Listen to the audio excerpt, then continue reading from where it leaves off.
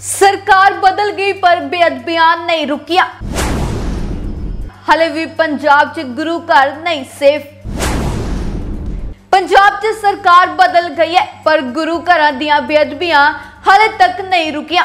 ਤਾਜ਼ਾ ਮਾਮਲਾ ਬਟਾਲਾ ਨੇੜਲੇ ਪਿੰਡ ਕਣੀਏ ਕੇ ਬਾਂਗੜੂ ਤੋਂ ਸਾਹਮਣੇ ਆਇਆ ਹੈ, ਜਿੱਥੇ ਇੱਕ ਪਿੰਡ ਦੇ ਵਿਅਕਤੀ ਵੱਲੋਂ ਗੁਟਕਾ ਸਾਹਿਬ ਦੇ ਅੰਗ ਫਾੜ ਕੇ ਪਿੰਡ ਦੇ ਬੱਚਿਆਂ ਨੂੰ ਵੰਡੇ ਜਾ ਰਹੇ ਸਨ। ਜਿਸ ਤੋਂ ਬਾਅਦ ਪਿੰਡ ਵਾਲਿਆਂ ਨੇ ਦੇਖਿਆ ਤਾਂ ਕਾਫੀ ਰੋਸ ਜਤਾਇਆ। ਜਿਸ ਬਾਰੇ ਪਿੰਡ ਵਾਸੀਆਂ ਨੇ ਦੱਸਿਆ ਕਿ ਇੱਕ ਬੰਦੇ ਵੱਲੋਂ ਗੁਟਕਾ ਸਾਹਿਬ ਦੇ ਅੰਗ ਫਾੜੇ ਗਏ ਨੇ। ਜਿਸ ਨੂੰ ਪੁਲਿਸ ਦੇ ਹਵਾਲੇ ਤਾਂ ਕਰ ਦਿੱਤਾ ਗਿਆ ਹੈ। ਜੇਕਰ ਪੁਲਿਸ ਵਾਲਿਆਂ ਨੇ ਕੋਈ ਕਾਰਵਾਈ ਨਾ ਕੀਤੀ ਤਾਂ ਚੰਗਾ ਨਹੀਂ ਹੋਵੇਗਾ। ਅੱਜ ਸਾਡੇ ਪਿੰਡ ਤਲਵੰਡੀ ਭਾਰਤ ਥਾਣਾ ਘਣੀ ਵਾਂਗਰ ਜੋ ਵਾਕਿਆ 8:30 ਵਜੇ ਸਾਡੇ ਪਿੰਡ ਦਾ ਜਗਤਾਰ ਸਿੰਘ ਬਹੂ ਮਹਿਰਾ ਸਿੱਖ, ਜਿਸ ਨੇ ਗੁਟਕਾ ਸਾਹਿਬ ਦੀ ਬੇਅਦਬੀ ਕੀਤੀ, ਪੱਤਰੇ ਪਾੜ ਕੇ ਗਲੀ ਚ ਸੁੱਟੇ ਨਿਆਣਿਆਂ ਨੂੰ ਵੰਡੇ। ਉਹਦਾ ਇੱਕ ਪੱਤਰਾ ਸਾਹਿਬ ਸਾਡੇ ਮਿਲਿਆ ਸਾਨੂੰ।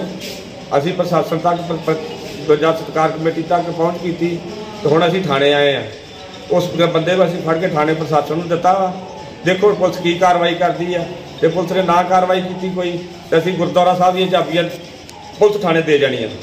ਕਹਿ ਰਹੇ ਨੇ ਕੋਈ ਮੈਂਟਲੀ ਅਪਸੈਟ ਹੈ। ਇਹਨਾਂ ਦੀ ਜਿੰਨਾ ਗੈਪ ਮਹਿਕਮਾ ਕਰ ਰਿਹਾ ਜਦੋਂ ਗੁਰੂ ਸਾਹਿਬ ਦੀ ਬੇਅਦਬੀ ਹੋ ਗਈ ਉਦੋਂ ਮੈਂਟਲੀ ਹੈ ਜਦੋਂ ਲੋਕਾਂ ਨੂੰ ਗਾਲਾਂ ਕੱਢਦਾ ਜਾਂ ਸਟੇਜਾਂ ਤੇ ਪ੍ਰਚਾਰ ਕਰਦਾ ਵਾ ਪਾਰਟੀਆਂ ਦਾ ਉਦੋਂ ਮੈਂਟਲੀ ਨਹੀਂ ਹੈ। ਮੇਰਾ ਨਾਮ ਵਰਿੰਦਰਪਾਲ ਸਿੰਘ ਮੇਰੇ ਦੁਕਾਨ 'ਚ ਬੈਠਾ ਮੈਂ ਉੱਥੋਂ ਲੰਘਦਾ ਗਿਆ ਵਾ ਇਹਨੇ ਕਿੰਨੇ ਵੇਲੇ ਹੱਥ ਦੇ ਵਿੱਚ ਫੜੇ ਆ ਤੇ ਮੈਨੂੰ ਇੰਨੀ ਗੱਲ ਇਹਨੇ ਆਖੀ ਵੀ ਤੇਰੇ ਤੇ ਅੱਜ ਪਰਚਾ ਕਰਾ ਦੇਣਾ।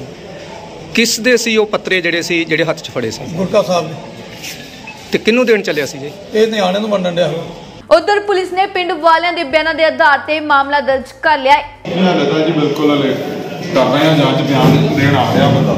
ਜਿਹਨੇ ਬੰਦਾ ਜਦੋਂ ਉਹਦੇ ਬਿਆਨ ਹੋਣਗੇ ਉਸ ਤੋਂ ਬਾਅਦ ਹੀ ਅਗਲੀ ਕਾਰਵਾਈ ਅਮਲ ਚ ਸਰ ਜਿਹੜਾ ਜਿਹਨੇ ਇਹ ਕਾਰਵਾਈ ਕੀਤੀ ਹੈ ਉਹ ਕ- ਤੁਹਾਡੀ ਕਸਟਡੀ 'ਚ ਹੈ ਤੇ ਕੀ ਉਹ ਪੁੱਛਗਿੱਛ ਮੁੱਢਲੀ ਕੀਤੀ ਗਈ ਹੈ ਨਹੀਂ ਹਲੇ ਜੀ ਕਸਟਡੀ 'ਚ ਕੋਈ ਨਹੀਂ ਹਲੇ ਉਹਨਾਂ ਨੂੰ ਉਹਨੂੰ ਲਿਆ ਕੇ ਸ਼ਾ- ਸ਼ਾਮਲ ਤਫਤੀਸ਼ ਕਰਾਂਗੇ। ਜਦੋਂ ਬਿਆਨ ਹੋਣਗੇ ਉਸ ਤੋਂ ਬਾਅਦ ਕਾਰਵਾਈ ਹੋਊਗੀ। ਸਰ ਪਿੰਡ ਵਾਲੇ ਕਹਿ ਰਹੇ ਆ ਅਸੀਂ ਖੁਦ ਜਿਹੜਾ ਉਹਨਾਂ ਨੂੰ ਆਪਣਾ ਕਸਟਡੀ 'ਚ ਦਿੱਤਾ ਹੈ। ਅੱਛਾ ਜੀ ਕੋਈ ਨਹੀਂ ਚੈੱਕ ਕਰ ਲੈਂਦੇ। Bureau report, Sanjh TV. Phagwara ਦੇ ਵਿੱਚ ਆਸ਼ੂ ਦੀ ਹੱਟੀ ਦਾ ਖੁੱਲਾ ਚੈਲੰਜ, ਜਿੱਥੋਂ ਤੁਹਾਨੂੰ ਮਿਲਣਗੇ ਸ਼ਹਿਰ ਵਿੱਚ ਸਭ ਤੋਂ ਸਸਤੇ ਰੇਟ ਤੇ ਸੂਟ, ਲਹਿੰਗੇ, ਸਾੜੀਆਂ ਤੇ ਪਲਾਜ਼ੋ। ਆਸ਼ੂ ਦੀ ਹੱਟੀ ਦਾ ਇੱਕ ਹੀ ਵਾਅਦਾ, ਤੁਹਾਨੂੰ ਮਿਲਣਗੇ ਵਧੀਆ ਕੁਆਲਿਟੀ ਦੇ ਕੱਪੜੇ, ਪਰ ਰੇਟ ਨਹੀਂ ਹੋਵੇਗਾ ਜ਼ਿਆਦਾ। ਇੱਕ ਵਾਰ ਵਿਜ਼ਿਟ ਜ਼ਰੂਰ ਕਰੋ। ਆਸ਼ੂ ਦੀ ਹੱਟੀ ਆਪੋਜ਼ਿਟ ਬੱਸ ਸਟੈਂਡ, ਫਗਵਾੜਾ।